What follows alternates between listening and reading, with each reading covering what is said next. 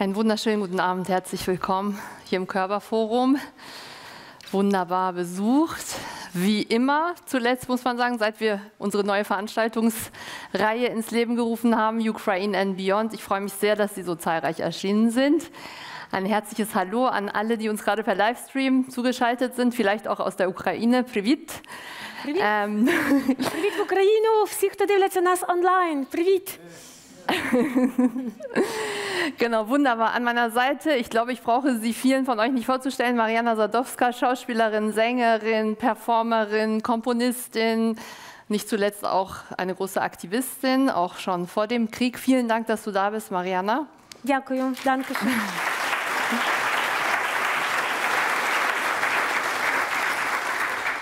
Du kannst ruhig etwas zu mir kommen. Так, ich weiß, я скажу, я сподіваюся, що сьогодні теж багато хто розуміє українську мову в цьому залі, правда? Може навіть так відгукніться. Аго! Дуже дякую. Е, і, але я відразу вас попереджу, говорити сьогодні ми будемо більше німецькою мовою, а співати будемо більше українською мовою. Wir werden mehr sprechen auf Deutsch und singen mehr auf Ukrainisch und jeder kriegt ein bisschen was mit. Wunderbar. Ich habe dich jetzt nicht ganz 100% verstanden, aber ich hoffe, du hast keine Werbung für Waschmaschinen gemacht oder so. Nee, no, noch nicht. Das kommt danach. Okay. Das kommt danach. Genau, ich wollte dich bitten, ob du einmal kurz sagen kannst, dass wir aus Zeitgründen diese, diese Veranstaltung leider nicht simultan übersetzen können, aber das hast du wahrscheinlich. Das habe ich gerade gesagt, genau. Wunderbar, vielen Dank. Schön, dass Sie da sind. Die Veranstaltung heute Abend findet im Rahmen der Konzertreihe Ort zur Welt statt. Einige von Ihnen kennen diese Konzertreihe vielleicht. Es geht uns immer darum, dass wir hier Künstlerinnen eine Bühne schenken, die Mariana ist äh, das beste Prototyp dafür, es schaffen, äh, eine Brücke zu bauen zwischen traditionell, den Traditionen, wo sie herkommen, und der Moderne. Und äh, Mariana selbst war auch 2020, September 2020, hier auf dieser Bühne zu erleben mit ihrem Duo, mit Christian Thomé. Und heute ist sie in einer anderen neuen Funktion da. Und zwar ist heute nicht nur ein Konzert im Rahmen der Konzertreihe Ort zur Welt und nicht nur im Rahmen der Veranstaltungsreihe Ukraine and Beyond, sondern auch quasi eine Art Auftakt. Sie sind quasi in einer Premiere heute, äh, einer neuen Reihe, die wir mit äh, Mariana Sadowska jetzt in diesem Jahr quasi starten, kuratiert von ihr. Und heute Abend ist der Auftakt. Vielen Dank, Mariana. Du hast dir sehr viel Mühe gegeben, dass dieser Abend heute überhaupt äh, zustande gekommen ist. Und bevor ich jetzt versuche, vor allem die Namen richtig auszusprechen, würde ich dich doch bitten, hm. die, äh, unsere wunderbaren Künstler kurz vorzustellen und vielleicht auch zwei Worte dazu zu sagen, warum du mit diesen Künstlern heute gestartet bist, warum du einen so wunderbaren Gesprächspartner wie Christian Diemer äh, mit eingeladen hast und ähm, was ist das Besondere? Warum ist diese Veranstaltung heute wichtig als Auftakt, um die Ukraine besser zu verstehen, die ukrainische ja. Musik? Also ich, ähm, ich werde bedanken an Körperstiftung und an dir, Bahar, persönlich lassen, auch für die Ende. Aber ich trotzdem bin sehr dankbar, dass wir überhaupt heute hier sein könnten und stehen könnten. Und zwar, es wird, Bahar hat vorgeschlagen, lass uns diese Vielfalt der ukrainischen Musik nach Deutschland bringen und euch Vertrauen machen, mit dieser wunderbaren, mit dieser Welt, der immer noch terra incognita bleibt für viele in Europa. Und wann, wann, wann nicht jetzt? Und dann haben wir gedacht, wir werden eine Serie von Konzerten machen, die werden ganz verschiedene musikalische Aspekte präsentieren. Aber wir fangen an quasi mit Wurzel. Wir fangen an mit äh, zwei Kollektivs, zwei Ensembles. Drevo, das heißt Baum, der Baum, Tree. Und äh, das ist absolut lebende Legende in der Ukraine. Äh, der, der Gründer und Leiter von diesem Kollektiv, Professor der, aus dem Kiew Konservatorium, Jewhen Jefremov, ist der Mann, warum ukrainische traditionelle Musik überlebt hat. Und er ist hier. Und er ist heute hier.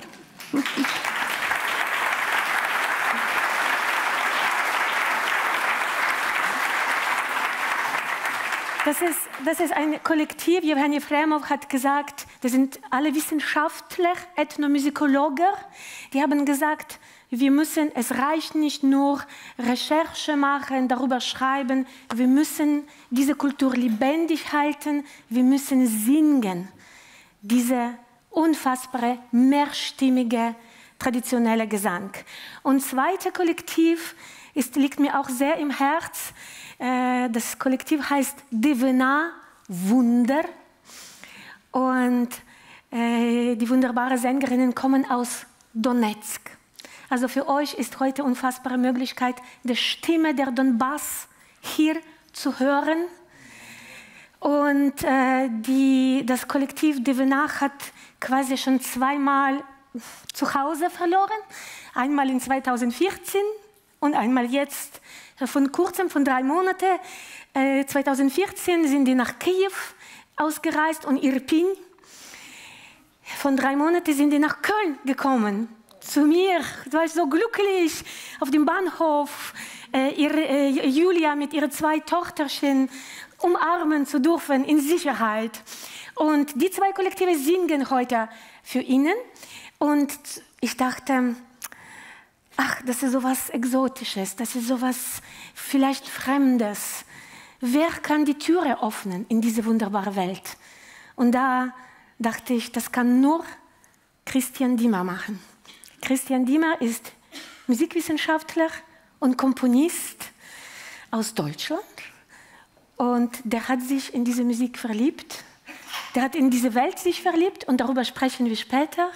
Und ich bin so dankbar, dass wir alle dank, dank Körperstiftung heute hier sein dürfen und versuche so wenig wie möglich zu reden, dass wir so viel wie möglich hören, diese, tauchen in diese wunderbare Welt. Vielen Dank, Mariana. Wir werden auch. Dankeschön.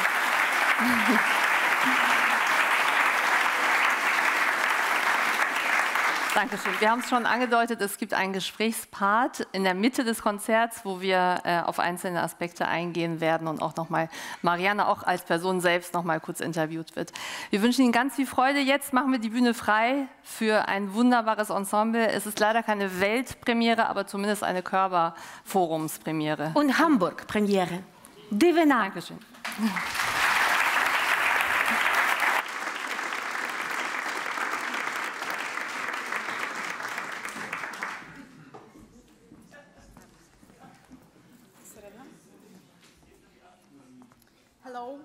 Guten Abend, one more time. Yeah, um, uh, we're going to sing a few songs from Donbass, which is our motherland.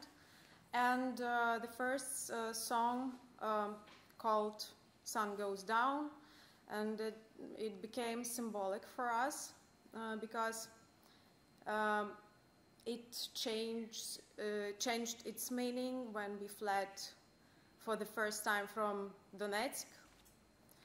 And sadly, it's still relevant for us, and it become uh, relevant for millions of Ukrainians. Уже сонце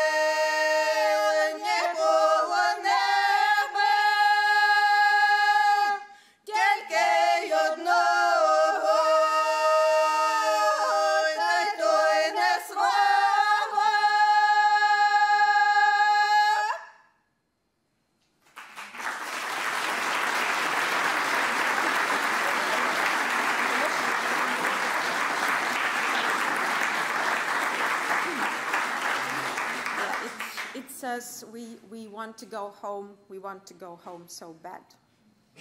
The, net, the next song is about the death of a soldier, and we want to dedicate it to all Ukrainian warriors. Забіліли сніжки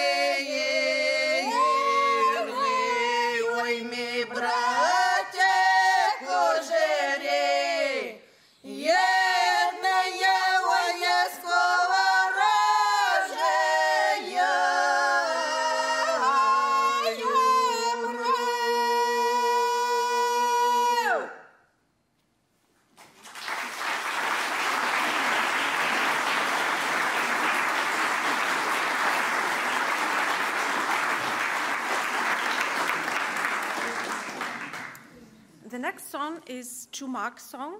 Chumak was um, salt traders, um, as we can call them. They was um, carrying salt and salt and salted goods uh, through long distances, and it was dangerous, of course.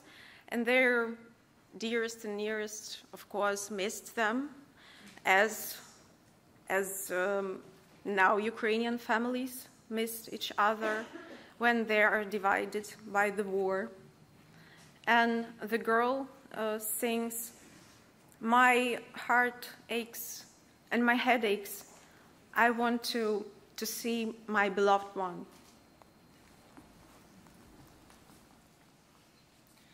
Тереплять вози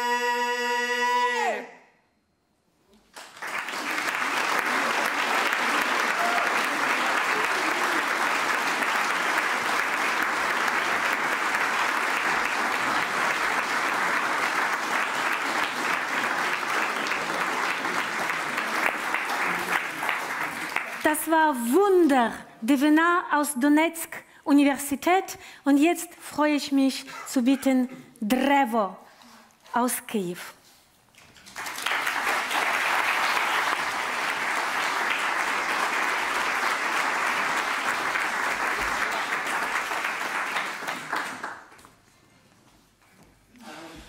Е, Я хотів би прокоментувати виступ е, попередній е, з Ансамблю з Донецька, фактично.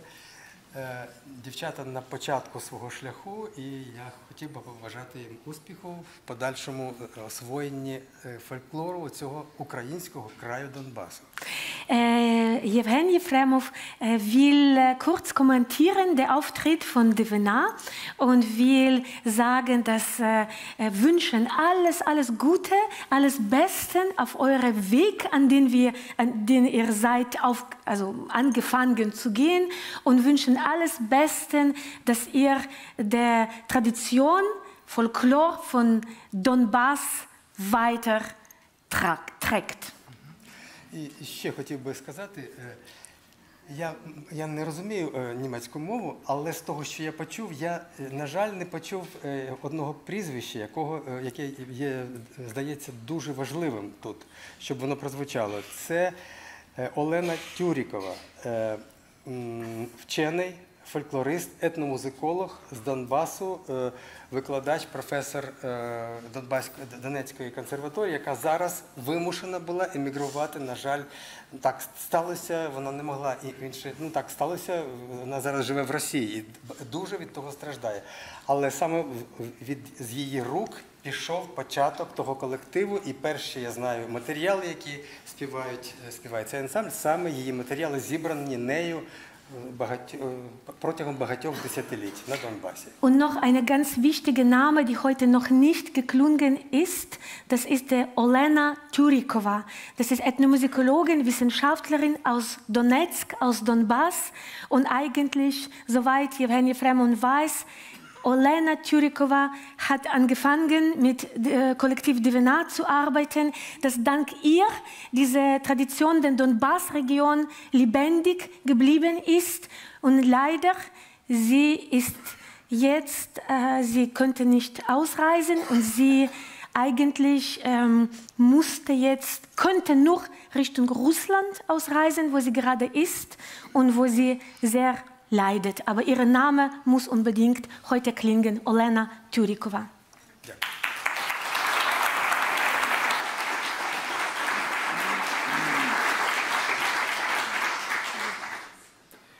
Ой, ти дубе, дай кучерявий твоє геля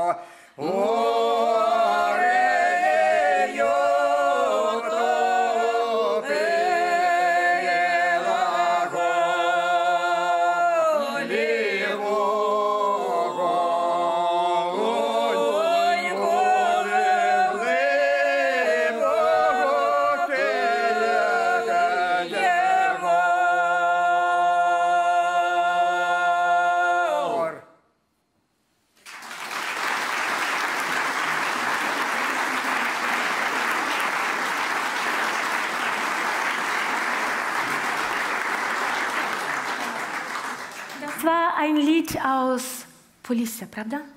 Aus Norden Ukraine, Region Polissa. Und äh, ihr, kennt, ihr kennt Wunder der georgischen Polyphonie, ihr kennt Wunder korsikanische Polyphonie, ihr kennt bulgarische Polyphonie. Und heute ist ein Wunder der ukrainischen Polyphonie für euch hier. Und jetzt kommt ein Lied aus Zentralukraine, aus Poltava-Region, ein Liebeslied, лірична пісня. Лірична наступна пісня. Ja. А оця пісня була з того регіону, якого зараз фактично немає, то є, то є Чорнобильщина. То Und Evgeny Fremo sagt mir zu sagen, dass dieses Lied, die gerade ihr gehört habt, ist, kommt aus Tschernobyl-Gebiet.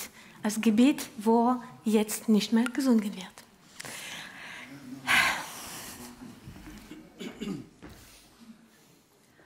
Давайте ми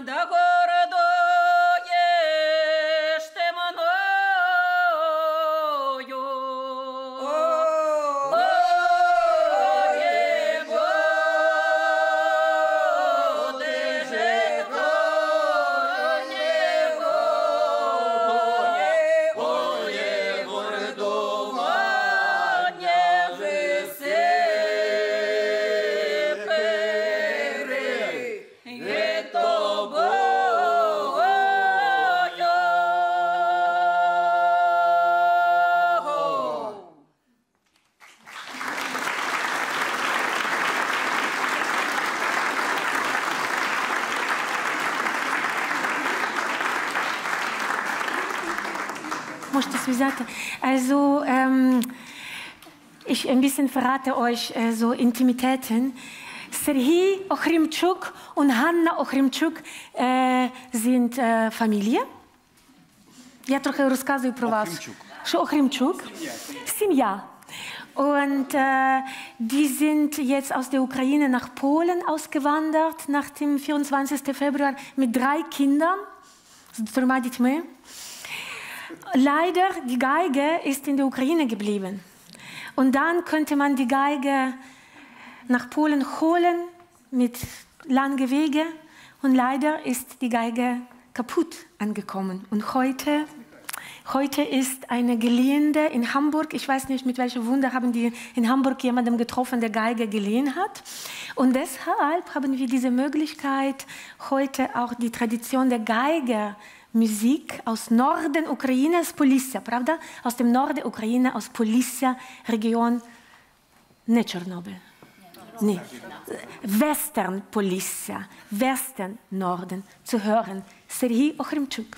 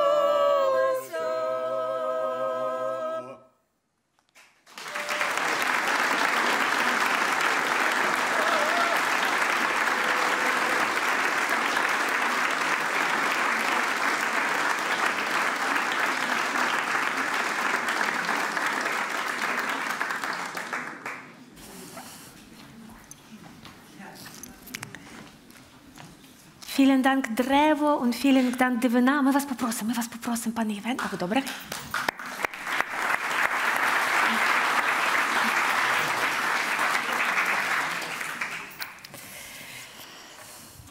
Super, wunderbar, vielen Dank. Ich weiß nicht, wie es Ihnen ging, aber ich hatte die ganze Zeit ähm, nur einen Gedanken, nämlich, dass die Stimme der Ukraine so einzigartig und so stark ist, dass sie durch nichts durch keine Kraft, keine Gewalt jemals zerstört werden kann. Sie ist höchstens dabei, gerade stärker zu werden.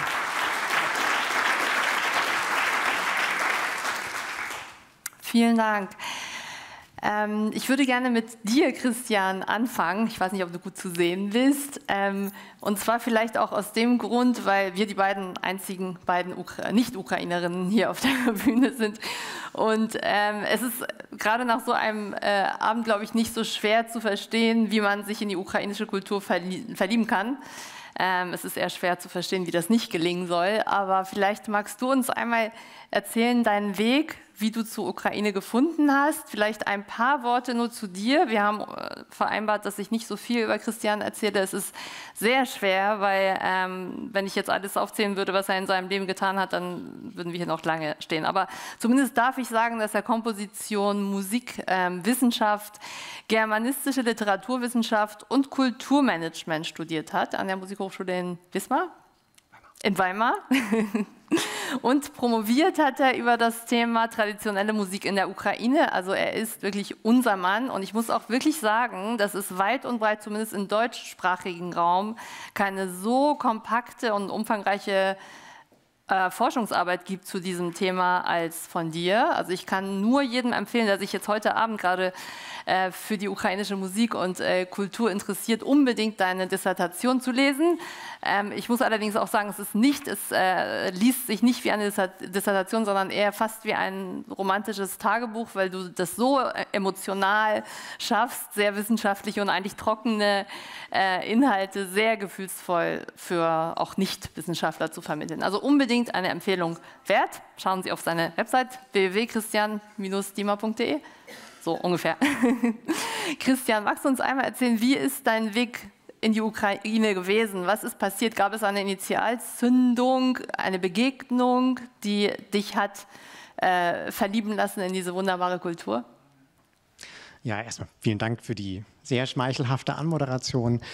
Ähm, es ist schwer nach den Klängen jetzt so eine ganz individuelle, fast private Geschichte zu erzählen, wie ich persönlich äh, mich in die Ukraine verliebt habe.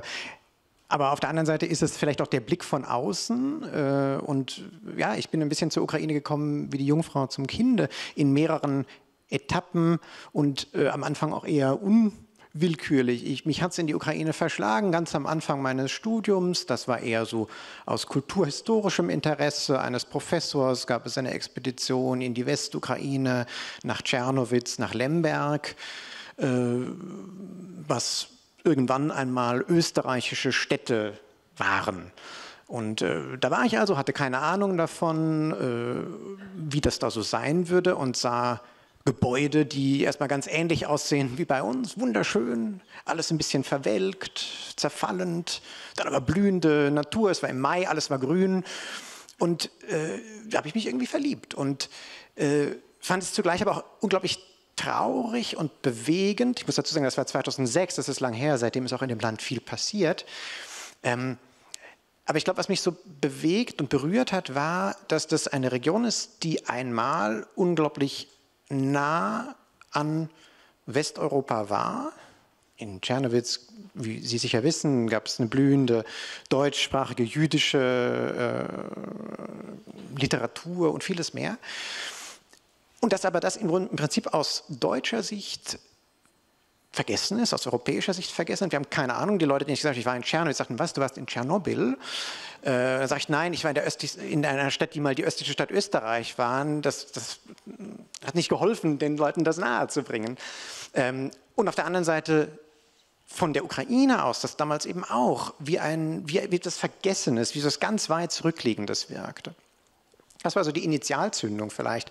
Dann hat es mich später wieder in die Ukraine verschlagen und, äh, und zwar mit einem ganz anders gelagerten Projekt. Da war ich dann plötzlich in der Ostukraine mit einem Projekt, das hieß Eurobus.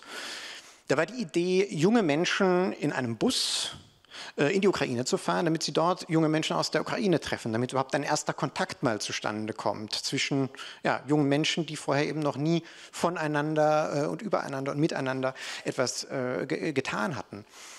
Und äh, dieses Projekt brachte mich dann in Gegenden der Ostukraine, die wir jetzt teilweise aus den Nachrichten kennen, Trostjanetz, Kremina, äh, Orte, die jetzt von Russland äh, erobert und zerstört worden sind. Das war dann mein erster Kontakt mit der Musik in der Ukraine. Das war ein zivilgesellschaftliches Projekt. Wir wollten dort eigentlich in einem Seminarraum sitzen mit jungen Ukrainern und zivilgesellschaftliche Projekte lösen. Irgendwas, Umwelt oder sowas. Was die wollten, die wollten uns ihre Tradition zeigen, ihre Musik. Ja, dann wurden wir da wie Staatsgäste empfangen als, als junge Leute von Leuten in Kostümen, die uns ihre Tradition gezeigt haben, weil das wichtig war für sie. Und dann habe ich gedacht, das schaue ich mir noch mal genauer an äh, im Rahmen einer Dissertation und bin dann wieder in die Ukraine gekommen, um genau das zu erforschen. Warum ist diese Musik wichtig für die Ukrainer, um zu erklären, wer sie sind und in welchem Verhältnis steht diese Musik auch also diese traditionelle Musik im Verhältnis zu all den zeitgenössischen, modernen globalisierten popmusikalischen Einflüssen, die es ja auch gibt in der Ukraine. Und vielleicht bevor wir auf diese Frage eingehen, die ich dir auch tatsächlich stellen wollte, einmal noch mal einen Punkt zu dir. Also du bist ja, es ist ja nicht nur bei einer Dissertation geblieben, sondern du lebst ja eigentlich jetzt schon in Kiew. Also nicht jetzt, musstest du natürlich ähm, auch leider flüchten, aber du bist seit 2018 der Leiter des ähm, House of Europe in Kiew. Ähm, was ist das genau? Kannst du uns was zu dieser Organisation erklären und deine Aufgabe vor allem darin? Das ist im Prinzip sowas wie der Eurobus in groß. Die Idee ist nach wie vor, ukrainische Menschen mit Menschen in der EU in Kontakt zu bringen. Das ist ein EU-gefördertes Programm, äh, relativ großes Programm, letztendlich ein, ein, ein, ein, Förderprogramm, das die Zivilgesellschaft und die Kultur in der Ukraine unterstützt mit Geld, mit äh, Lernformaten, mit Vernetzungsformaten, sodass es eben mehr Kooperations- und Austauschbeziehungen zwischen der Ukraine, äh, zwischen den Profis in der Ukraine und ihren sozusagen Kolleginnen in der EU gibt. Äh, das ging von Förderung von Koproduktionen, von Opern, von äh, Studienreisen äh, in, in die ganze Breite der zivilgesellschaftlichen, der beeindruckenden zivilgesellschaftlichen Aktivität in der Ukraine. Und als jetzt der Krieg begann, äh, ja, du hast erwähnt, habe ich das Land verlassen müssen, aber das House of Europe ist auch jetzt nach wie vor in der Ukraine aktiv und äh, leistet dort äh, Notfallhilfe, zum Beispiel Evakuierung von Kulturschätzen aus ukrainischen Museen, äh, die Russland genauso wie Krankenhäuser äh, gerne bombardiert. Das heißt, eure Aufgabe ist es hauptsächlich, Förderprogramme aufzusetzen, ähm, um ukrainische Kultur im Land oder auch außerhalb des Landes zu unterstützen und zu fördern? Ukrainische Kulturschaffende und Zivilgesellschaft in der Ukraine äh, genau, im Land zu unterstützen und auch zu vernetzen mit der EU, damit genau sowas, wie was wir jetzt hier erleben, also ein, ein Dialog zwischen Kulturen und Gesellschaften, die vielleicht noch nicht so viel voneinander wissen, damit das eben äh, öfter äh, stattfindet. Mhm. Und vielleicht, wenn ich dich noch einmal fragen darf, im Kontext zu unserer Veranstaltung heute Abend. Also wir haben das, was wir heute Abend erleben, erlebt man ja nicht leider jeden Tag. Das ist schon etwas sehr, sehr Besonderes. Aber was nicht so, ich sag mal, besonders ist und doch natürlich total einzigartig, ist, dass äh, sich quasi mehr oder weniger durch die gesamte ukrainische Musikkultur die traditionellen Elemente durchziehen, also wie ein roter Faden. Ähm, wie, wie kommt das und wie wichtig ist es für die nationale Identität der Ukrainerinnen, dass sie wirklich zu ihrer ähm, Tradition stehen, obwohl sie moderne Musik machen? Du hast in deiner Arbeit sehr viele interessante ähm, Musikerinnen aus dem Jazz- und Pop-Bereich auch ähm, porträtiert, die genau das aufweisen, obwohl sie sehr, sehr moderne, westliche sozusagen, westlich ist jetzt in dem Fall nicht richtig, aber moderne Musik machen, sind traditionelle Elemente sehr stark vertreten. Warum ist das so oft zu beobachten in der ukrainischen Musik? Ja, genau. Ich glaube, das ist richtig. Es gibt äh, in vielen Bereichen äh, des Lebens in der Ukraine diesen Bezug auf die Tradition in der Musik, aber auch in anderen Bereichen, in der Mode, im Alltag, in der Werbung. Und das Interessante ist, dass wir das üblicherweise als einen Gegensatz denken. Es gibt auf der einen Seite Tradition und dann gibt es vielleicht Innovation oder Kommerz oder Globalisierung. Also wir denken das in so einem Gegensatzpaar. Und äh, vielleicht auch in einem Bedrohungsverhältnis. Das eine könnte das andere auslöschen. Ähm, oder vielleicht auch das Traditionelle könnte sowas, so eine Beharrungskraft dagegen haben, sowas, was dann vielleicht manchmal auch sowas Tümelndes, Kitschiges äh, haben könnte. Und in der Ukraine scheint es diesen Gegensatz so nicht immer zu geben, sondern es scheint äh, manchmal zu gelingen, dass man gerade im Rekurs auf die Tradition eine unglaubliche Innovationskraft entfaltet und dass äh, damit auch ein, ein Begriff sozusagen von Authentizität entsteht, der eben überhaupt nichts Einschränkendes, Limitierendes, Konservierendes hat, sondern im Gegenteil eine unglaubliche Energie freisetzt. Und ich glaube, das ist vielleicht so ein bisschen der Schlüssel, äh, warum der Traditionsbezug in der Ukraine auch als äh, eine Dimension sozusagen von nationalem Gefühl, um zu erklären, wer sind wir, äh, funktioniert.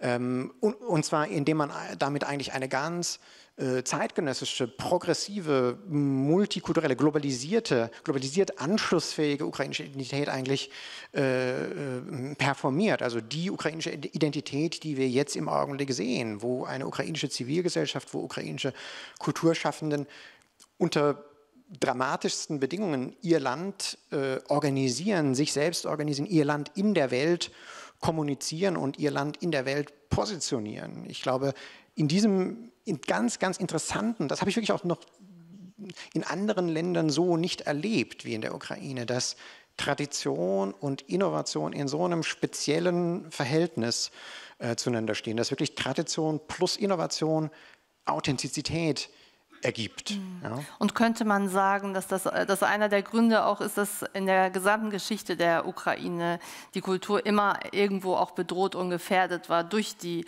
ich sag mal, das russische Imperium? Ist das vielleicht, äh, würdest du aus deiner Beobachtung sagen, dass das auch ein Impuls ist? Gerade weil etwas gefährdet ist, möchte man es erst recht bewahren? Es ist halt einfach auch eine wunderbare schöne und, und kraftvolle Musik. Also diese, die, die Klänge dieser Stimmen, ja, das, das, das, das hat einfach eine wahnsinnige Energie. Ich weiß gar nicht, ob man es jetzt vielleicht auch überinterpretiert, wenn man sagt, ja, ja, äh, das, natürlich, das ist ein Land äh, und ein, ein Bereich der Erde, auf dem Schreckliches passiert ist, auf dem das Schreckliche und das Schöne so, so nah beisammen liegen. Ja? Äh, das, das, das Blühende und das, und das Mörderische. Und äh, irgendwie hat man das Gefühl, das hört man auch in der Musik, das hört man in diesen Stimmen. Ja? Sind die schön oder sind die schrecklich? Auf jeden Fall sind sie gewaltig. Da ist irgendwie alles drin. Ähm, ich glaube, es gibt schon auch die Angst, dass das alles verloren gehen könnte. Das hört man viel, wenn man mit ukrainischen Musikethnologen äh, darüber spricht, dass sie sagen, oh je, ja, ja, das, das, das stirbt alles aus, das interessiert keinen mehr. Da müssen wir noch schnell in ein Dorf fahren äh, und das dokumentieren, bevor die Leute sterben, die das noch wissen. Und dann liegt es wenigstens im Archiv und vielleicht ist es dann später irgendwann mal wieder interessant für irgendjemanden und dann kann das ja dann jemand wieder ausgraben. Aber ich glaube, das ist so ein bisschen auch so ein vielleicht etwas kulturpessimistischer Seitendiskurs. Ich würde das gar nicht so überbewerten. Wir hören ja, dass es lebendig ist und äh, von Herrn Jefremov ist auch das Zitat überliefert, ja, die Musik muss gesungen werden und deswegen macht er das. Die andere Frage ist das natürlich, ist das dann noch die gleiche Musik? Mhm. In diese Musik von einer alten Frau im Dorf beim Beackern ihres Feldes gesungen wurde oder wird, oder wenn die ganz ähnliche Musik, also die in einer wissenschaftlichen Beschäftigung mit dieser alten Frau entstanden ist, sozusagen sich von dieser Frau abgeschaut wurde, wenn die dann hier in Hamburg bei der Körperstiftung erklingt vor einem Publikum von Leuten mit einer musikalischen und wissenschaftlichen Ausbildung, einem internationalen Publikum dargeboten. Mhm. Ist es dann noch das Gleiche? Ist es dann noch authentisch oder ist es was anderes? Aber es lebt. Ja, vielen Dank. Du hast die, eine wunderbare Brücke geschlagen zu Jefhem. Das wäre nämlich tatsächlich auch mal eine Frage an Sie, ähm, wieso es nicht reicht, diese Tradition zu dokumentieren und zu archivieren. Warum muss diese Tradition gerade gesungen, also leb lebhaft sozusagen gepflegt werden? Теж трошки чули. Питання є, пане Євгене, чому ви зрозуміли, що це не вистачить архівіту... записати, архівізувати цю музику? Чому ви почали її співати?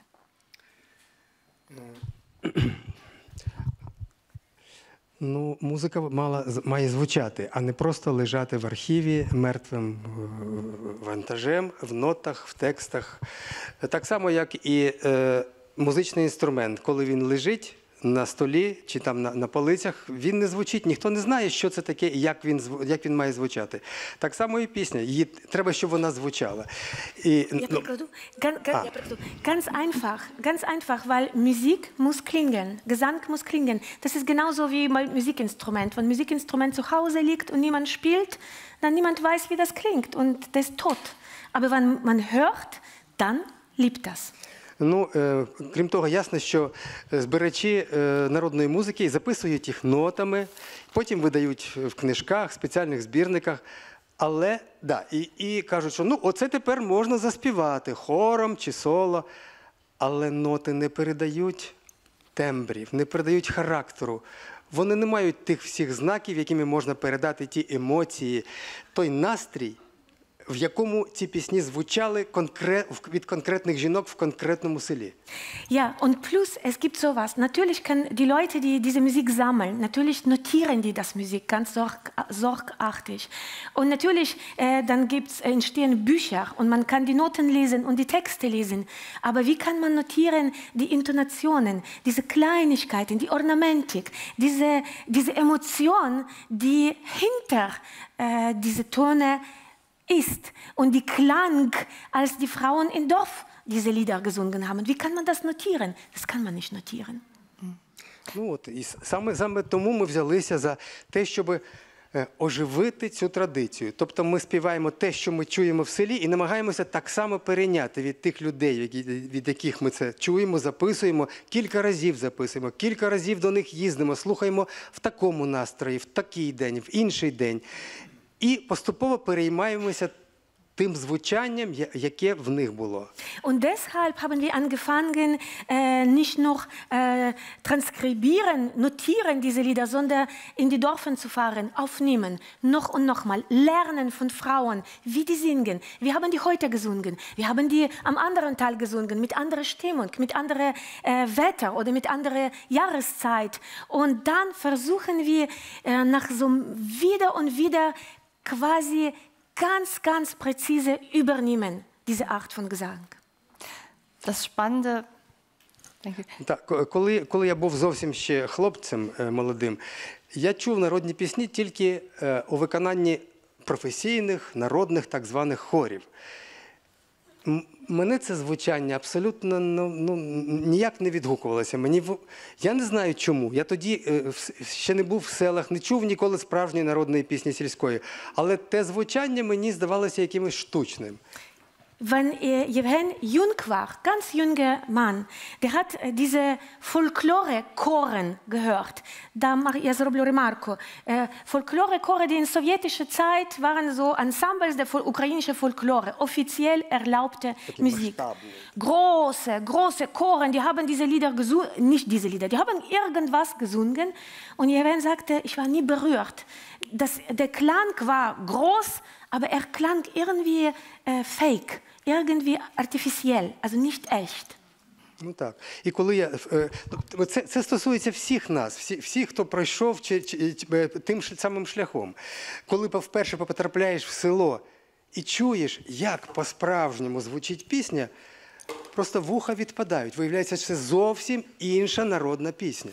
Und sowas haben wir alle erlebt. Also alle, die, äh, wir haben alle erlebt diese Fake-Folklore. Und wenn man, wenn ihr einmal in die ukrainische Dorf reist und diese Omas hört, dann merkt ihr, das ist was ganz anderes. Das klingt ganz anders. Und dann von Anfang an äh, sind sie irgendwie verliebt. Для нас, для музикантів, які вчилися в музичному училищі, в музичній школі, в консерваторії багато років, ми тільки в перший раз стикаємося з таким е, природнім е, явищем, яке перед тим для нас було просто закрито. Und wir, die Musiker, wir haben äh, gelernt, wir haben in Musikschulen gelernt, in Konservat Konservatorien, Hochschulen gelernt, aber wir zum ersten Mal haben in Dörfern erlebt so ein äh, Element, so ein Element, die für uns unbekannt war und äh, f- ja. Ну, от з того, з того шоку все і поча- починається в усіх нас. Und aus, diese, aus diesem Schock fängt das an, für uns alle. Wunderbar, vielen Dank. Ich habe das Gefühl, Sie können meine Gedanken lesen, weil drei der Fragen, die ich stellen wollte, haben Sie jetzt schon beantwortet. Вона каже, що ви читаєте її думках, бо три питання, які вона мала, ви вже відповіли. На три... Aber vielleicht äh, eine Frage, die mich sehr interessiert, die ihr beide natürlich bestimmt auch beantworten könnt, aber ich würde es gerne aus Ihrem Mund hören, ist, also zum einen einmal kurz Klammer auf, ich weiß nicht, ob du das am Anfang erwähnt hast, was sehr besonders ist an, an diesem äh, Gesangsensemble oder an beiden Gesangsensemble ist, dass wir haben hier nicht ähm, äh, äh, sozusagen durch die Ausbildung, also ausgebildete Musikerinnen, die sich jetzt auf ähm, die ukrainische Vokalpolyphonie konzentriert haben, sondern wir haben, das sind alles Musikethnologinnen, die Sie heute hier erleben. Das heißt, das sind eigentlich Wissenschaftlerinnen, die singen. Das ist, finde ich, schon sehr, sehr beeindruckend und besonders. Klammer zu. Die Frage, ähm, die ich noch hätte, ist, diese Gesänge, die wir heute gehört haben, offensichtlich, wir haben, äh, äh, Dwina hat uns einen Einblick gegeben, wo es inhaltlich darum geht, das sind keine sakralen äh, Gesänge, die in der Kirche ähm, erklingen. Sie sind sehr ähm, pragmatisch, sie haben sehr viel mit dem Leben, mit dem Alltag der Menschen zu tun. Wo ist in der Regel, wo und wann und in welcher Form findet diese Art der Aufführung, des Singens statt? Е, е, Бахар питається, каже, пісні, які ми сьогодні чули, це ж не є церковний спів, це не є сакральний спів. Де, е, де, можна, де співаються ці пісні, які нас вчать про життя, які нас ведуть про життя? Де можна ці пісні почути? Е, маєте на увазі в, сільському середовищі? Так, так, так. так? Ну, е,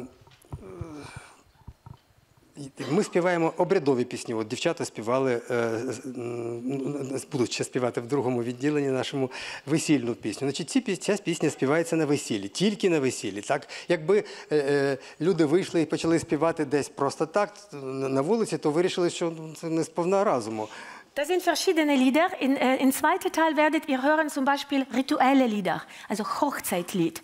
Das ist Hochzeitlied, der würde nur beim Hochzeit gesungen. Hätte man das normale irgendwie woanders gesungen, hätte man gedacht, oh, was ist los mit denen? Die haben Sinn verloren. Das ist, mm, also singt nur ritualistisch zum Hochzeit. Так, або, або ска- для нас бувала е, велика проблема, коли ми приїжджаємо в експедицію і, і, і просимо влітку, наприклад, влітку, і просимо жінок заспівати. Ну, заспівайте нам веснянку, колядку. Вони кажуть, ні, не можна. Зараз нема не зима, зараз не весна, то приїжджайте взимку, ми вам проспіваємо колядку. Oder zum Beispiel, es gibt Jahreszeitenlieder, also die Lieder, die nur im Frühling darf man singen oder nur im Herbst oder nur im Sommer.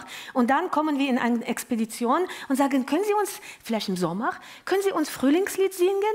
Und die Damen sagen, nein, in keinem Fall. Also kommen Sie in Frühling, dann hören Sie Frühlingslieder. Also das ist so, so, so, so mit äh, Jahreszeit verbunden. А коли ми вже все ж таки упросимо, ну ви ж ми ж приїхали до вас, ми маємо все записати. Заспівайте нам, як у вас весілля співалося. Ну добре, тільки ми будемо так. Давайте всі вікна позачиняємо, двері, щоб ніхто ж не чув, бо скаже, що баба з ума зійшла. Und wenn Sie sagen, aber Entschuldigung, wir sind so von weit weg gekommen, können Sie doch vielleicht für uns auch ein Hochzeitlied singen? Wenn Sie Glück haben, dann sagen die Damen, okay, aber wir machen das sehr leise und machen alle Fenster und Türe zu, dass niemand hört, dass wir jetzt Hochzeitlied singen. Так що ритуальні пісні вони стосуються якогось певного рит- певного ритуалу. Ну а більшість тих пісень, які ми сьогодні е, перед вами показуємо, це пісні, які можна співати. Вони не обрядові, значить їх можна співати ну, майже в будь-якій ситуації. Під час відпочинку, коли сумно, коли навпаки весело, за столом, на вулиці. Жінки, чоловіки, тобто різні ситуації. Das alles, was bis jetzt äh, hat äh, Jevhen erklärt, das geht um ritualistische Gesang. Aber meiste Lieder, die ihr heute hört, das sind die Lieder, die erzählen über unser Leben. Und die kann man immer singen. Am Tisch, nach dem Arbeit, während Arbeit, äh, zusammen mit Männern, separat von Männern. Also das sind die Lieder, die man singt, wenn man glücklich ist oder wenn man traurig ist. Also das sind Lieder, die für... Вони ведуть нас через життя, правда? Ці пісні. Е, Так, е, просто для, для самих селян ці пісні е, є, як вони самі кажуть, це про, про нас, про самих, це про наше життя. Тобто вони, співаючи ці пісні, уявляють самих себе в цій ситуації. Вони переживають всі ці емоції так, наче це їхні власні емоції. Ich wollte ein bisschen äh, was äh, zu ergänzen. Ich wollte, ich wollte sagen, okay, diese Lieder, die, sind, die leiten uns du, durch das Leben. Und äh, Panjevhen sagte, na ja, so kann man sagen, die Männer und Frauen in Dorfen, die haben, als die diese Lieder gesungen, die haben gesagt, das ist über unser Leben. Die Lieder begleiten uns durch unsere Leben. Це про наше життя. Так? І мені, бачите, зловила, що ви щось додали. Про наше життя і... Ну, я не знаю, що там є. Я мав багато Ich habe чого. verloren. Also da war noch Wir haben's schon über verstanden. unsere Leben. Also die, Fü- ja, also kann man sagen, äh, die- ja, genau das, Äh, dass jedes Mal, wenn f- eine Frau das Lied singt, dass sie quasi erzählt auch ihre eigene Geschichte. Also das ist so, da verbindet man sehr individuell diese, diese Lieder. Wunderbar. Die Vielen Dank. Man kann euch stundenlang zuhören. Diese Sprache ist schon alleine so schön, äh, ab, unabhängig von der wunderbaren Musik. Так, я хотів ще сказати, що за- зараз, е, зараз ви звертаєтеся до мене, але е, всі члени нашого ансамблю, і Ганна, і Сергій, і Таня, вони всі є такими самими етномузикологами, фольклористами, як і я. Вони всі їздять по селах, збирають. В- Кожен з них є керівником. Е, е, Окремого ансамблю, вони самі проводять майстер-класи. Коротше кажучи, те саме, що я сказав, вони б ще краще і на своєму досвіді так само б розповіли. Panjeven ist sehr bescheiden, das hat er nicht gesagt, das sage ich. Und er will einfach sagen, alles, was ich euch erzähle, das kann alles auch Hanna Ochrimczuk oder Tetjana Sopilka oder Serhii Ochrimczuk euch erzählen, noch mehr und noch besser, weil wir alle das Gleiche tun. Wir reisen durch die Dörfer, wir sammeln diese Schatz, wir wir lernen das, wir singen, wir bringen bei, wir machen Workshops, wir teilen, wir, wir, wir halten das lebendig. Vielen Dank, ihr Femme. Ich hoffe, dass Sie 140 Jahre alt werden. Danke.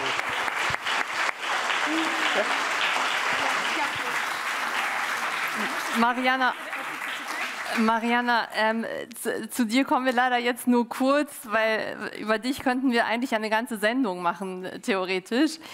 Aber vielleicht ganz kurz äh, zu dir, wenn man, wenn man dich kennt und deine Musik kennt, weiß man, wie stark und wie wichtig dir die ukrainische Kultur ist und wie sehr sie äh, durch deine gesamte Arbeit geht, unabhängig jetzt von dein, äh, deiner wirklich, äh, deinem politischen Aktivismus, den wir heute mal hier außen vor lassen. Ähm, wie schaffst du das, diese unglaublich große Spannung letztendlich zu ertragen oder auch äh, ertragen zu lassen? Ich habe mich wirklich gefragt, wie ist es für ähm, diese beiden Ensembles auch mit dir zusammenzuarbeiten, weil du nimmst ja quasi traditionelle Elemente und machst daraus was komplett Neues. Es ist schade, dass wir das heute nicht äh, aufführen können. Das ist das sehr besonders. Aber wie, wie hält man diese Spannung aus zwischen kompletter Innovation und äh, Avantgarde und der, dem Erhalt der Tradition?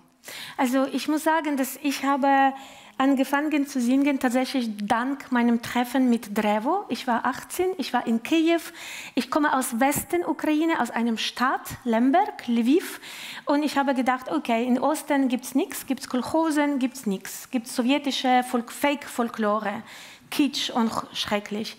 Und dann war ich zu Hause bei einem von Sänger und Sängerinnen und die haben mir Aufnahme gezeigt von diesen Liedern und gesagt, schau mal, die Karte der Ukraine, überall kannst du fahren, überall findest du diese Tradition.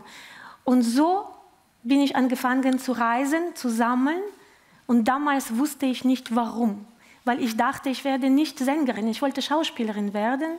Aber irgendwas war da, gerade wenn die Frauen sagen, ich habe die meine ganze Leben gesungen, wo ich dachte, okay, jetzt, jetzt muss ich was damit machen, ich muss weiter singen. Ich komme aber aus Kunstbereich, oh, natürlich äh, Freude zu Experiment, zu äh, neue Musik, neue Klänge, ja. Und ähm, trotz dass ich arbeite mit traditionellen Liedern, ich habe immer gesagt, äh, was ist in diese Lieder, was mich so berührt? Wie höre ich das und wie kann ich das weitergeben? Und da, das ist für mich Alpha und Omega. In einem Dorf, Kretschkivka, hat ein Sänger mir gesagt, das Lied ist wie deine Geliebte. Du hast das so lange im Herz, du weißt, wie du das Lied singen wirst. Das heißt, das ist sehr individuell und das heißt, ich kann singen als eine Schauspielerin, die in Deutschland lebt, in, durch Welt reist. Ich bringe die ganze Inspirationen und ganze Entwicklung in neue Musik da rein. Das ist mein Weg. Aber was ist sehr wichtig, und das haben auch das ist sehr schwierig immer zu singen von Jewgen Jefremov, den ich als meinen Lehrer betrachte und Inspiration und äh, ja, also meine Orientation im Leben. Aber das Wichtige war für mich immer, wenn ich gehört habe, okay, du hast das verändert, aber du hast die Seele bewahren. Mhm. Ich will trotzdem nicht so viel über mich reden heute, weil das geht nicht um mich heute. Aber was wichtig ist, ist, dass du viele Forschungsreisen unternommen hast in die Ukraine und du hast uns auch was mitgebracht. Ein genau. paar Beispiele, die wir uns jetzt anhören können. Genau, weil mir ist ganz was wichtig zu sagen. Und zwar äh, sehr wichtig zu sagen, dass diese Kultur versucht, also die, die, die russische Imperium, nicht nur sowjetische Imperium, russische Imperium hat seit Hunderten versucht, diese Kultur vernichten, ausradieren. Äh, wir durften nicht ukrainisch sprechen. Es waren mehrere Gesetze, die haben verboten, ukrainisch schreiben, kreieren auf ukrainisch. Wie Evgeny Fremov hat erzählt, es wurden so Fake-Folklore uns serviert mit vielen Liedern über Stalin und über Oktoberrevolution. Und diese Schätze wurden die Frauen in Dörfern oft durften nicht diese Lieder singen. Es wurde versucht, uns wegzunehmen, ausradieren. Und das passiert heute. Und da will ich äh, heute, weil das kann ich nicht lassen, es gibt eine, äh, eine Frau, eine Wissenschaftlerin, die auch sammelt Lieder durch Donbass-Gebiet. Sie heißt Irina Krutschenko. Sie kommt aus dem kleinen Stadt Volnovacha, nicht weit weg von Mariupol. Sie hat in Volnovacha ein Kollektiv, Gesangskollektiv, wo drei Generationen zusammen singen. Omas, Mutters und Kinder und Enkelkinder. Und sie ist immer noch, also während Beschüsse war sie lange im Keller. Wir hatten Kontakt zu ihr verloren. Sie hat Herzkrankheit äh, erlebt im Keller unter Beschuss. Sie hat das Gott sei Dank überlebt. Ich hatte kurzes Kontakt mit ihr. Sie hat mir erzählt, dass ganze Sammlung, alle Trachtklamotten, alle Lieder, alles ist in Gefahr, weil das abgeschlossen, sie, kann, sie darf nicht rein, sie darf das nicht rausholen, sie weiß nicht, ob das überlebt. Aber ich weiß, dass ihre Gesang und ihre Stimme wird überleben und ich möchte unbedingt, dass Sie heute sie hören. Irina Krutschenko, ihre Ensemble Sahara Jarotschka singt Hochzeitlied von Irina Krutschenko Mutter. Entschuldigung, die Aufnahme ist nicht so ganz perfekt, aber ich muss einfach so das machen, genau.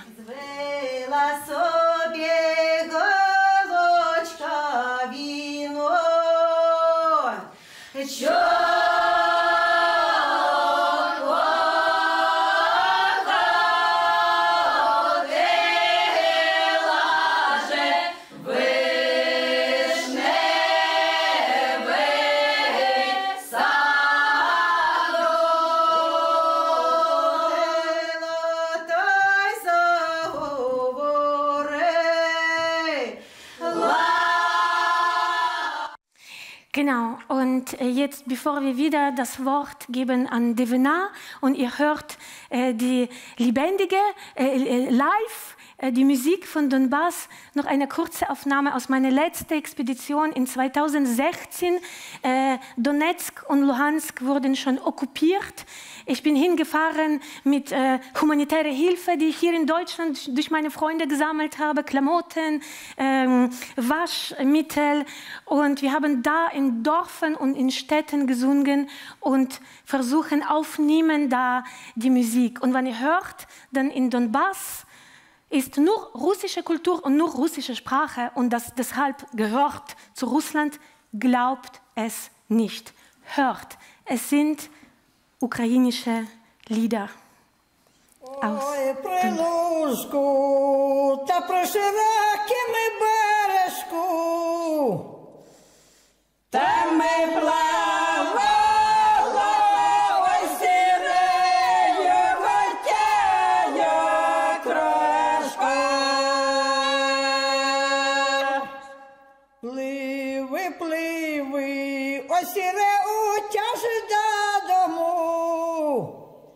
Sports Love!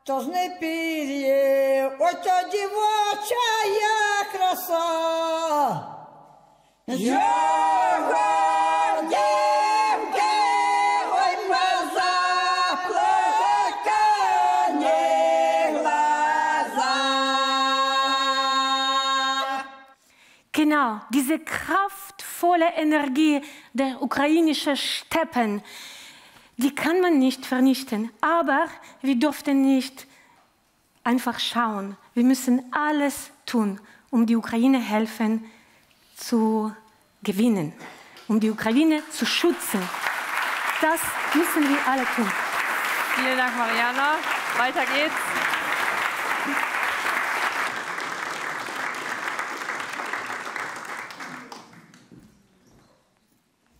We want to sing for you the song which is called um, Eagles Flying Out. Um, it's about um, how we should value and cherish the every moment of our lives. because life it's, fi- it's finite.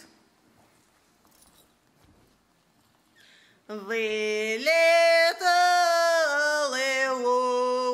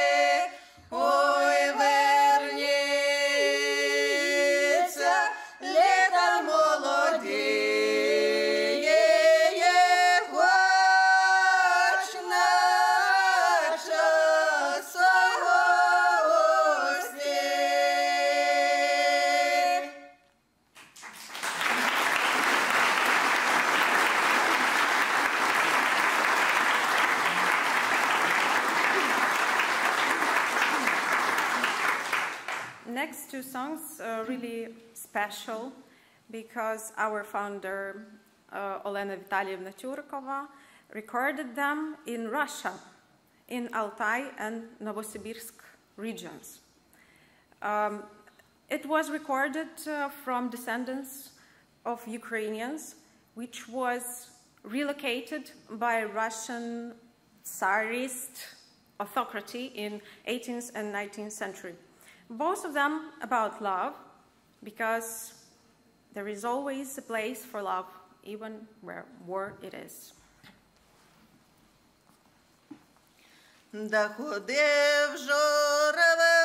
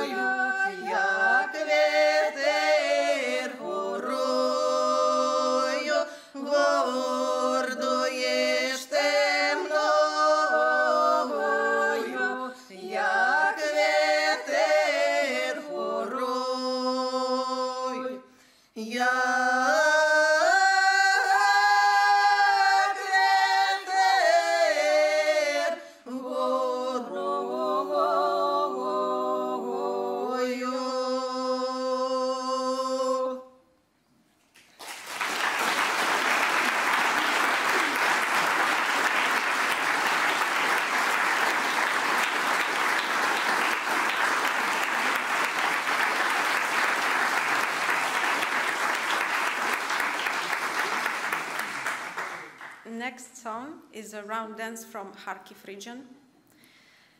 Uh, it's, it's hard to sing about love and, and, and, and joy when, when in your country war is. And, uh, but um, we feel like these, all these songs are must be sung because cities and the villages from they are coming are wiping out from the face of the earth. Tapere!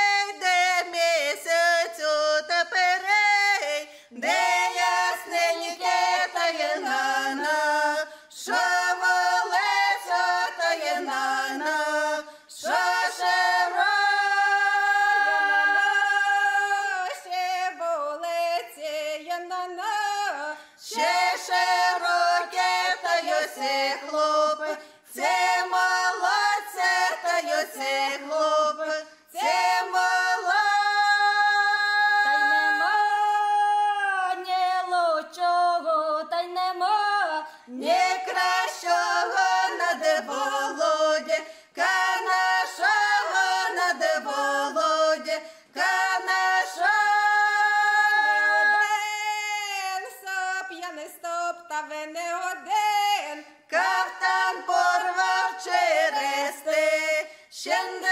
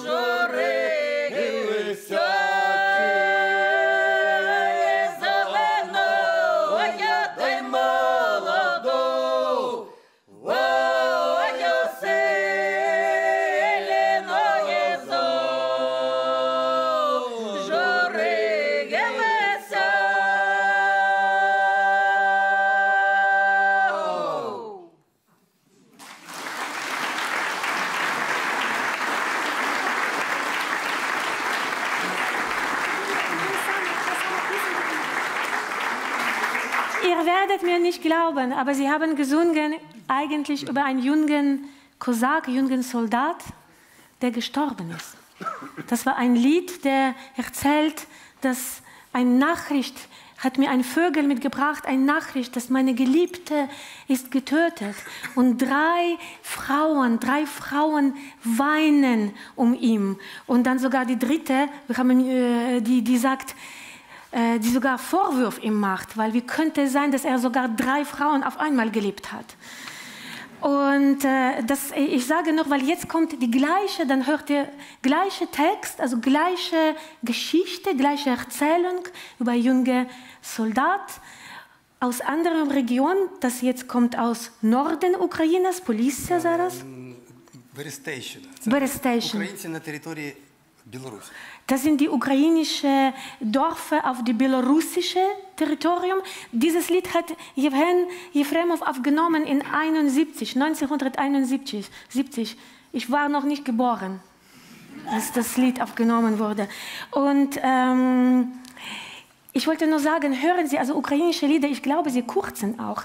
Die Lieder dauern manchmal, haben 50 Versen und dauern sehr lange. Und das sind, das sind das sind die Meditationen, die nochmal und nochmal über Themen nachdenken lassen und erzählen lassen.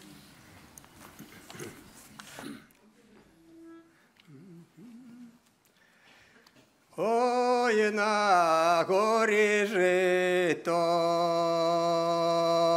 я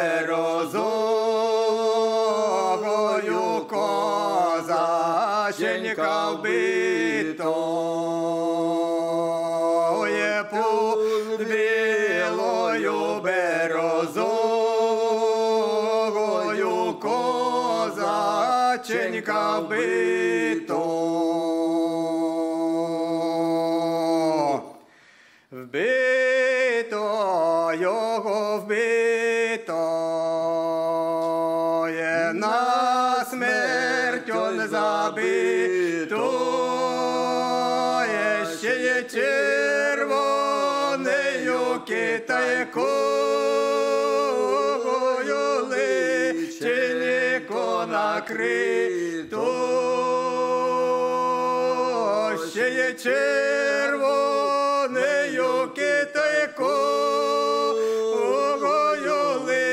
личенько накрито. Як прийшла дівчина з чорними очима,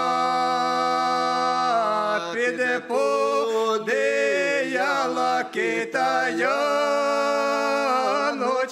дай заголосила, піде поди яла китаяночку дай заголосила.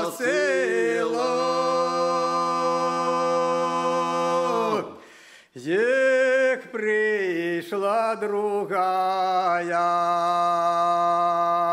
та ще не такая, піде подіяла китаяночку та й.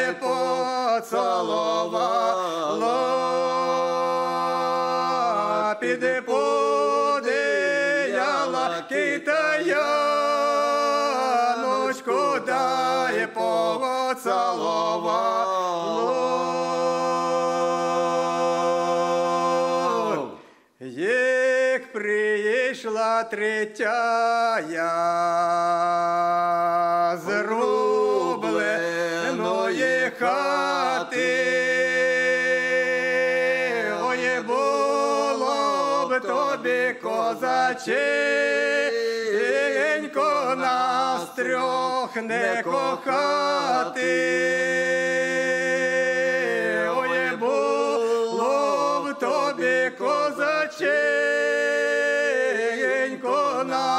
Трьох не кохати.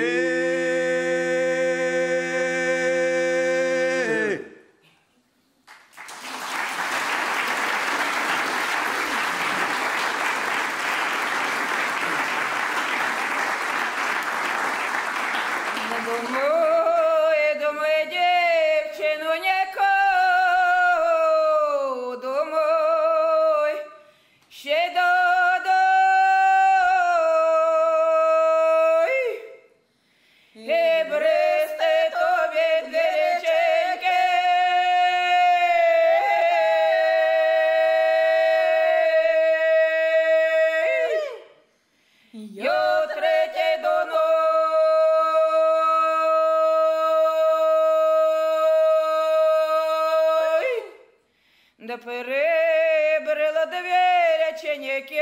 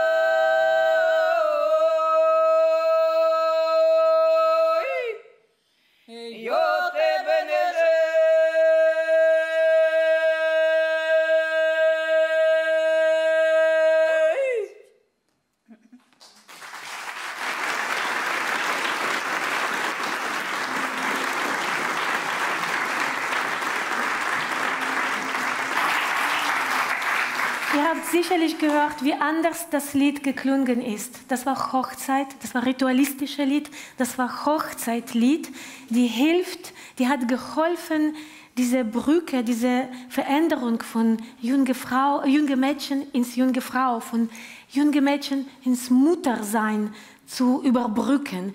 Äh, hat man mit diesem Gesang versucht, durch diese Veränderung zu leiten. Und ich wollte noch ganz kurz eure Aufmerksamkeit lenken an die Gesangtechnik. Also ihr sicherlich merkt, da stehen zwei Frauen oder zwei Männer oder vier Personen und klingt als ganze Orchester, oder? Das, das liegt an dieser besonderen Technik von Stimme, die mit sehr viel Obertonen, sehr viel Aliquoten arbeitet, weil natürlich hat man früher keine Mikrofone gehabt und hat man versucht, dass die Stimme bis zum Ende des Welt reicht oder manchmal in andere, in jenseits reicht, gerade beim ritualistischen Gesang. Я тільки про трошки сказала про е, техніку голосу, und jetzt kommt ein Waisen, Waisenkind Lied, ein Psalm für Waisenkind, tak? Сирицька, сирицький псалм.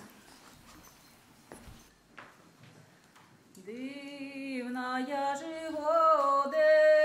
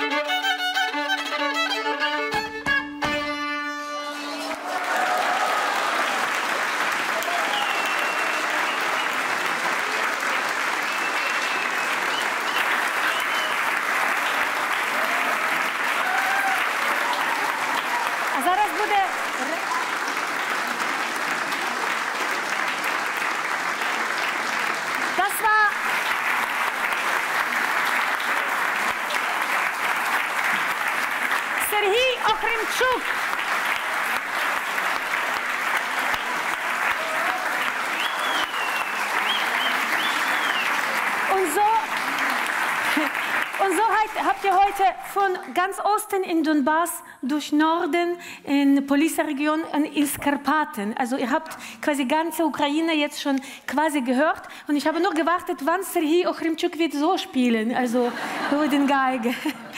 Und jetzt kommt eine, wie Evgeny Fremov sagte zu mir, das kommt jetzt philosophische Lied. Філософська пісня? Ви сказали так?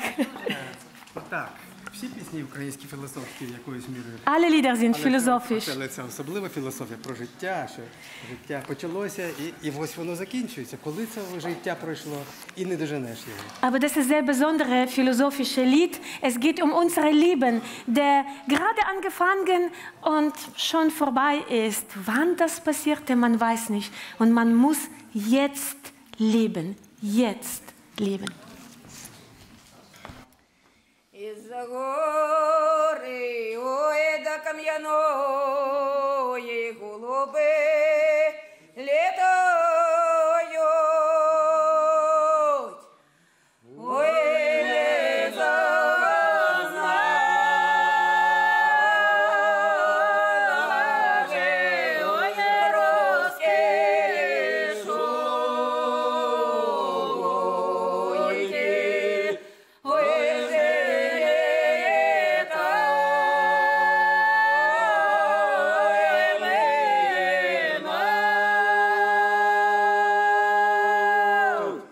Запрягуєте, ой, хлопця же коні, коні бо.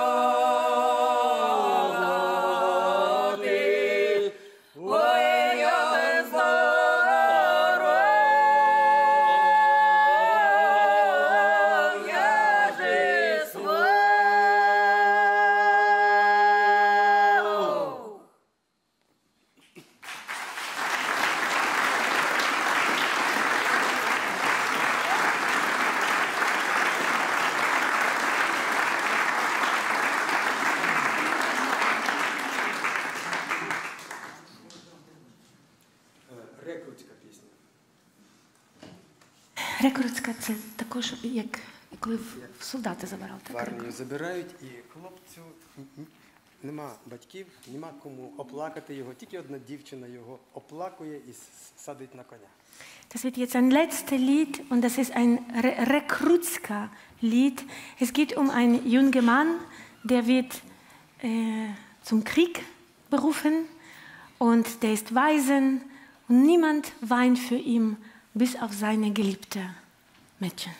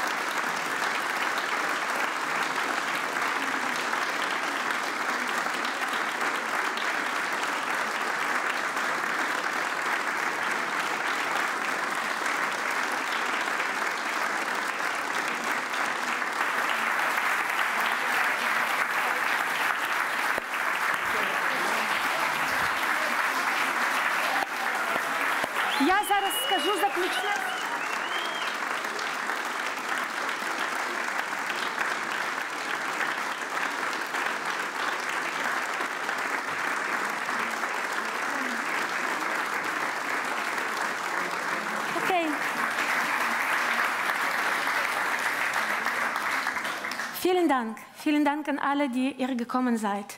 Vielen besonderes Dank an Bahar Roshanai. An das, das, ähm, ich werde nie vergessen unser Gespräch im Hotel in Hamburg, wo du hast gesagt, wir müssen doch was tun. Lass uns, dass diese Stimme klingt laut in der Ukraine. Danke, dass ihr, in, in, in, ukrainische Stimme klingt lang, laut hier in Deutschland, in Hamburg. Und wir haben angefangen mit Wurzel. Wir werden euch zusammen mit Bachar und mit Körperstiftung durch neue Musik, alte Musik, Avantgarde, Elektronik, jüdische Kultur, Krim-Tatar-Kultur, Punk, Rap, wir werden euch ganze Vielfalt hier präsentieren.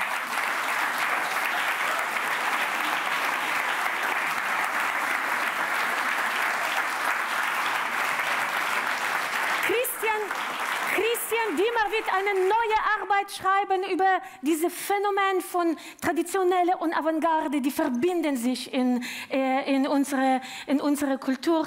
Vielen tausend Dank. Eigentlich, ähm, was habe ich noch? Ich wollte was noch sagen, ich vergesse, aber egal. Ich wollte noch sagen, dass falls ihr, falls ihr Lust habt, unterstützen, dass Serhii Ochrimchuk eine neue Geige sich leisten kann. Dann gibt es da eine Box, Spendebox. Я сказала, якщо є бажання підтримати, щоб у вас була нова скрипка, то там є скринька, де можна цьому допомогти.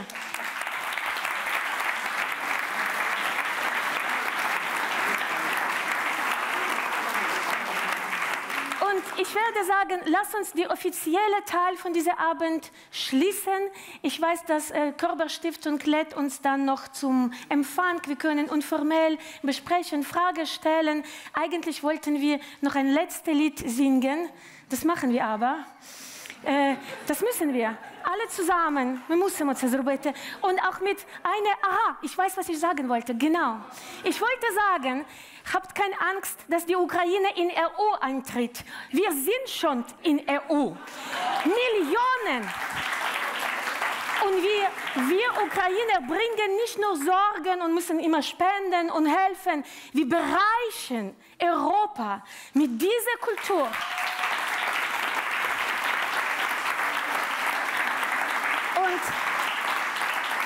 Und es ist schon zu spät und alles, aber ich muss, dass wir alle zusammen singen, auch mit einer Familie aus Makariv. Das ist der Stadt, der auch eigentlich quasi nicht mehr existiert. Und das ist Familie, junge, drei Geschwister, die auch singen. Und Devena und Drevo, die noch Stimmen haben, weil wir müssen ja Drevo-Lied singen. Das war schon im Jahr. Müssen. Kto має голос, той співає. Я теж не маю голосу. Ich habe auch keine Stimme. Aber wir schaffen das. Als letzter Encore ins Empfang. Древо. Дивина, ходіть сюди з мого боку трошечки. Фамілія Шевченко. Ходіть. Я не знаю, ставайте. Так, так, ба- ба- басуємо легенько, щоб не нашкодити. Так.